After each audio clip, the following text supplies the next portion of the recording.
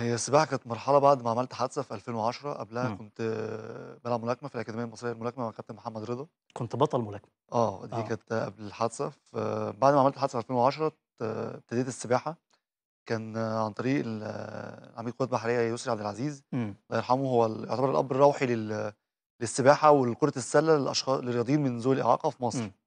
فكان اقترح عليَّ بعد الحادثة إن إحنا نلعب رياضة بما إن أنا كنت مركّز بس في ال في العلاج الطبيعي وإن أنا أخف بس يعني. أنت كنت بتعوم أصلًا طبيعي قبل خالص، كنت باغرق في شبر المَيّة. يعني قبل الحادثة ما كنتش بتعرف تعوم خالص، أصلًا؟ خالص.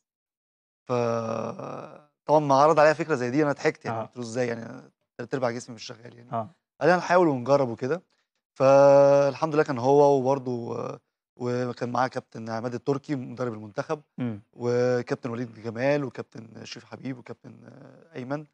آآ، ابتدينا برنامج تدريبي كده والحمد لله يعني ابتدينا من 2015 آآ، موضوع السباحة ديّة إمم. والحمد لله بس أنت اخترت الموضوع السباحة والّا هي اللي اختارتك؟ آآ، هي اتعرضت عليَّ بصراحة وأنا ما كنتش عندي أي فكرة خالص إن أنا ممكن. أعمل فيها أي إنجاز.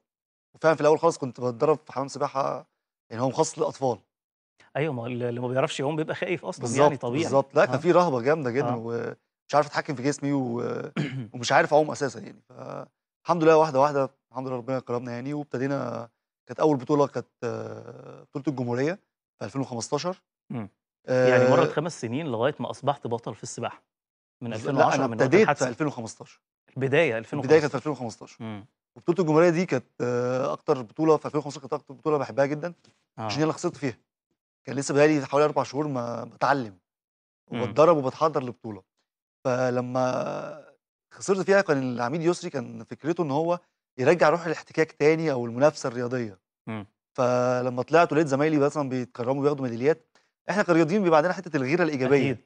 فالموضوع أخدته كتحدي وقُلت بقى لأ خلاص لازم إن شاء الله البطولة الجاية أعلّق ميدالية يعني. إمم. من بعدها الحمد لله خدت فضية كأس مصر وجمهورية 2016 و2017 وانضميت للمنتخب في 2017 إمم. وكان سافرت بقيت لعيب دولي في سنتين.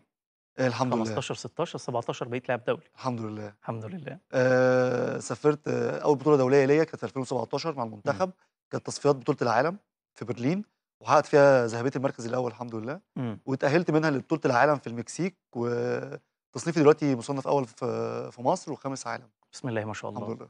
يعني حاجة ملهمة ومبدعة جدًا، يعني الناس أنا سعيد والله جدًا على. المستوى الشخصي ولمّا قريت ال القصة واللي حصل يعني بقيت يعني قُلت اللي هو ده الإنسان المصري فعلًا اللي هو قادر على التحدي. الحقيقة. طيب كابتن